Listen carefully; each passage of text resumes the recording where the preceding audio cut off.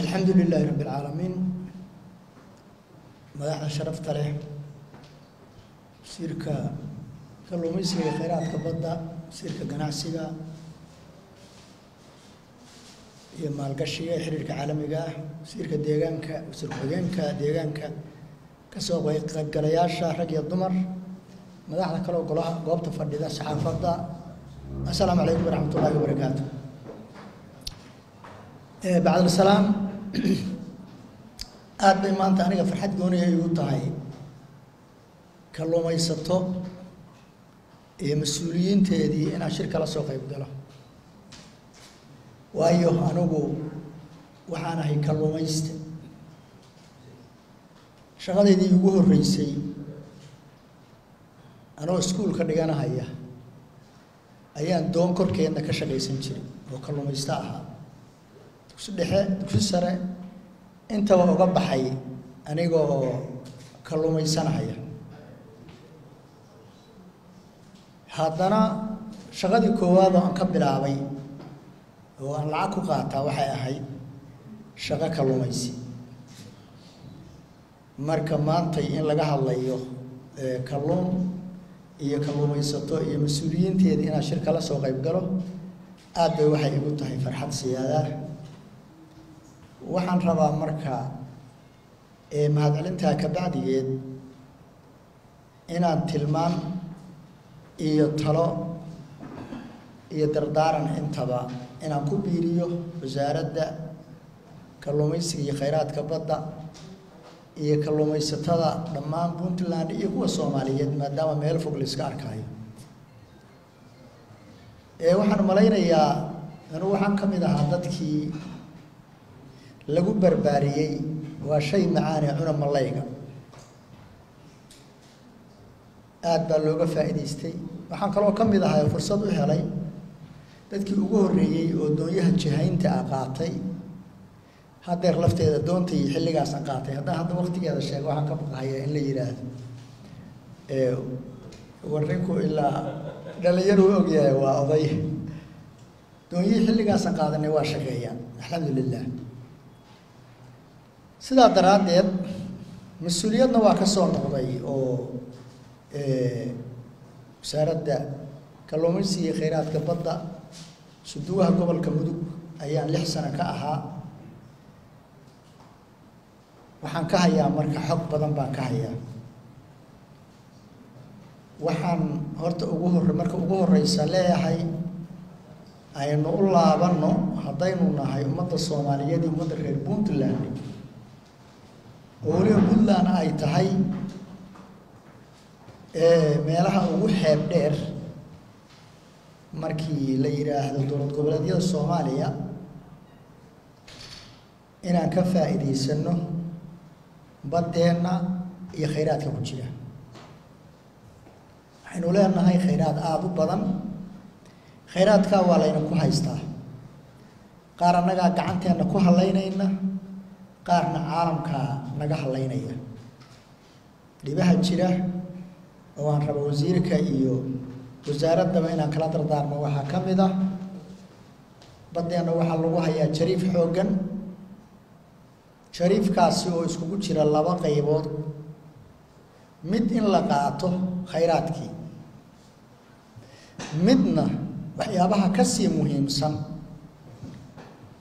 oo ah hiriidka hiriid waxaa la yidhahdaa degaanka وأصبدت هريب ودجان كبطة وحال يري ويل والا دلاه لكن هو يدي ساكا مهم سن. هدي هريد كوكا تشابو ميل كالونكو دكالونكو دجان إنو قلم مويان ميل إلا ما فريستو. هدي دجان كالاجا تشابشو وكا جوريا كالونكو وانا حيوانا الصغرى tareerindho badan oo aan u soo gallay waxaa la odhanayaa soomaaliya. Waa meesha xayawaanka baddu meelaha uu ku dhalo oo ku tarmo bay kow ka tahay. Haddii badda soomaaliya nabaad guudhana badaha adduunku waa nabaad guuraya.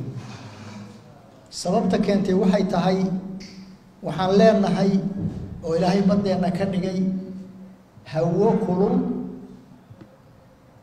hir dhexdhexaad ah iyo hiriid kalluunku galo. Saddexdaas baa sababtay in in kalluunku baddeenna uu ku dhalo ku barbaaro. Markaa kabacdigiisna badankiis kalluunku meeshii hooyadii ka timid buu aadaa mustaqbalka. Sidaa daraaddeed jariifkaas badda burburinahaya kalluunkana qaadanaya oo caalamiga ah.